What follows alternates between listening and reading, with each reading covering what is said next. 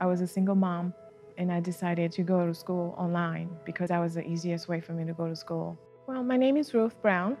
Uh, my major is Allied Health Science. I'm a surgical technician and I decided that it was time for me to go back to school. Um, from the moment that I applied to South University, from the first person that I spoke with, they were very, very helpful, very nice, and very inspiring.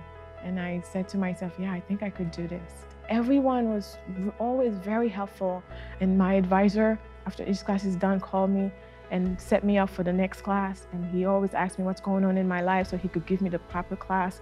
It was the best experience. Taking classes online teach me how to manage my schedule and how to just keep going no matter what.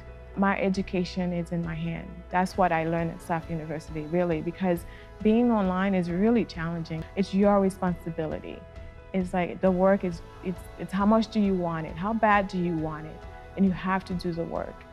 And I, it meant a lot to me to be here and it felt, made me feel like if I could do this, then I could continue and really accomplish the dream that I, that I had from the beginning.